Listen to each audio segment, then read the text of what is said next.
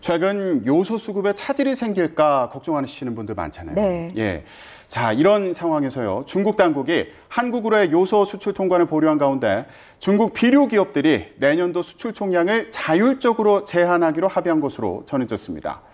중국 화학 비료망에 따르면 중국의 주요 요소 비축 무역 기업 15곳이 내년 수출 총량을 94만 4천 톤을 아, 내년 수출 물량 94만 4천 톤을 넘기지 않는다는데 동의했습니다. 수출 제한 기간은 2024년 1분기까지인데요. 지금도 일부 항구에서는 증빙 서류를 갖고도 수출을 할 수 없어서 화물이 항구에 쌓여 있고 항구에 있는 화물이 회수되는 현상도 있는 것으로 전해졌습니다.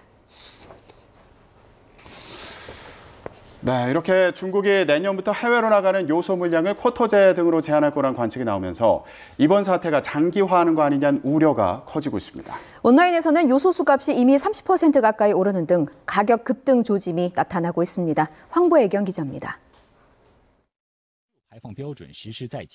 우리 정부는 중국 당국의 통관 보류가 자국 내 요소 수급을 위한 단기적인 조치로 판단하고 있습니다. 이런 가운데 요소 공급난이 길어질 것을 우려한 중국이 내년부터 한국을 포함한 해외에 수출하는 요소 물량을 제한할 방침인 것으로 전해졌습니다. 국내 요소업계 관계자는 중국 현지 업체로부터 중국 정부가 내년부터 요소 쿼터제를 시행할 것이란 얘기를 전해 들었다고 밝혔습니다. 이에 대응책 마련을 위해 중국이 아닌 다른 국가로도 수입 채널을 확대하고 있단 겁니다.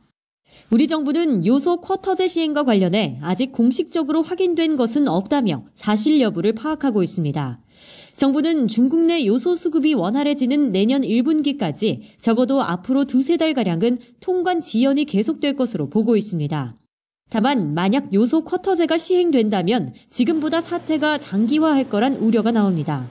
나라별로 쿼터제는 시행하지 않고 해외로 빼낼 수 있는 물량을 아마 정하는 식으로 될 겁니다. 근데 상황에 따라서 반기 이상 가는 것도 염두에 두어야 되지 않을까 싶습니다.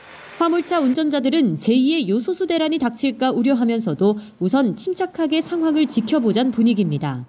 그 영업용 하는 사람들은 사재기 하는 걸 지금 좀 자제하는 분위기예요.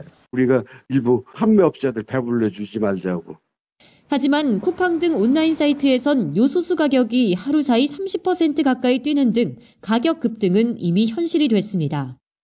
산업통상자원부는 요소수 가격 인상으로 인한 보조금 지급 논의는 시기상조라면서도 사재기 열풍으로 번지지 않는지 점검한다는 방침입니다.